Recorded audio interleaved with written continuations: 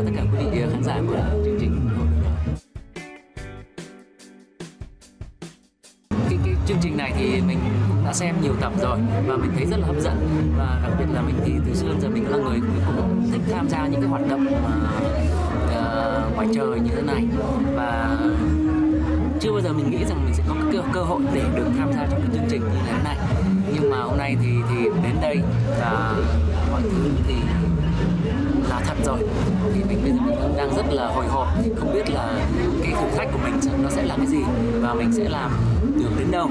Nhưng mình chắc chắn là mình sẽ cố gắng hết sức để lấy đạt được ờ, nhiều tiền nhất có thể cho cho cho cho người khách mời.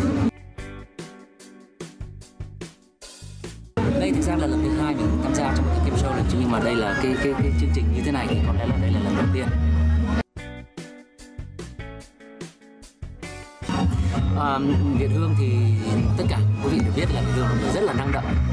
Cho nên là hôm nay mình à, tham gia trong cái chương trình như thế này thì không biết là mình có vượt mặt nổi cố không? Tại vì là cố năng động lắm. Từ trước giờ cố là người lúc nào cũng hands on tức là bản thân cố đặt tay vào tất cả mọi những cái game mà cố tham gia cùng với cả những người chơi. Thì uh, hôm nay thì tất nhiên là khi mình chơi thì không biết là cô sẽ làm những cái gì và không biết là cô có có trợ giúp mình mình gì được không. Cũng có thể là mình sẽ cần những sự trợ giúp đó.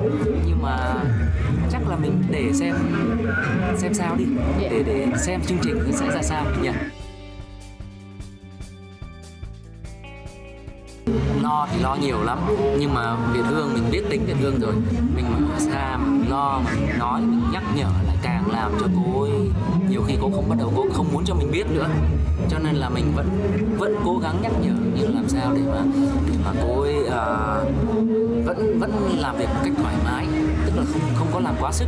Nhưng mà mình biết chắc là mình không thể nào mà mình ngăn cô khỏi những cái trò chơi những cái cái cuộc cuộc chơi như thế này được.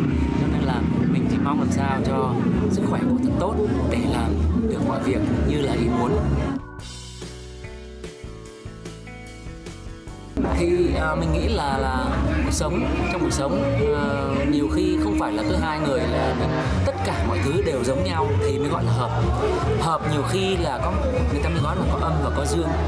Thì à, vì hương là một người có lẽ là là như mọi người thấy là rất là náo nhiệt nhưng mà có lẽ là bởi vậy cho nên là hai người hợp nhau. Nhiều khi mình ngồi vào một, một bữa tiệc hay là mình ngồi nói chuyện thì có là người người nói mà mình ngồi nghe thôi. Thì cũng như là bây giờ trong một con gà có khi là cố thích ăn thịt trắng mình thích thích ăn thịt đùi. Vậy cho nên là trở thành là một cái mà nó làm cho cái sự hòa hợp nó càng khăng khít vào nhau hơn. À, hương và mình có nhiều cái sở thích cũng giống nhau chứ. Nhiều sở thích nhiều cái cá tính rất là giống nhau. Nhưng có những cái có cái là mình cần sự tương đồng và có những cái mình cần sự cần sự tương phản để tạo ra sự hòa hợp. Chúc cho Việt Hương thì uh, giúp cho em luôn luôn có sức khỏe để làm được mọi điều em muốn. Bởi vì là em phải là phải nói là một người có, có tham vọng rất là lớn. Và những cái tham vọng của em thì đòi hỏi những cái cái sự quyết đoán và, và sức khỏe rất là nhiều kể cả trong lĩnh vực nghệ thuật cũng như là trong lĩnh vực kinh doanh.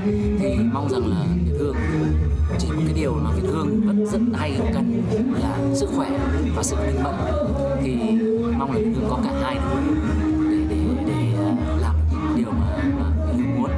Còn uh, đối với uh, quý vị khán giả của chương trình cơ hội đời cũng như là của chương trình TV khắp mọi nơi thì Hoài Phương xin chúc quý vị trước tiên là có một cái một cái uh, ngày thật vui trong khi xem chương trình cơ hội đời này đây là cái chương trình mà rất là thiết thực ờ, và rất là nhân văn. Ờ, và mong rằng là quý vị ờ, nó cũng là một cái cái cái thúc đẩy cho quý vị ra ngoài cuộc đời thì mình cũng sẽ làm được những cái việc gì đó cho một ai đó giúp nói chung là là mình, mình giúp cho đời. Thì đó là sẽ là tạo ra niềm vui cho bản thân mình và cho rất là nhiều người khác. Nếu như mà chương trình, bất cứ lúc nào mà chương trình cho Phương cơ hội để trở lại với cuộc chơi này, thì Hoàng Phương sẵn sàng.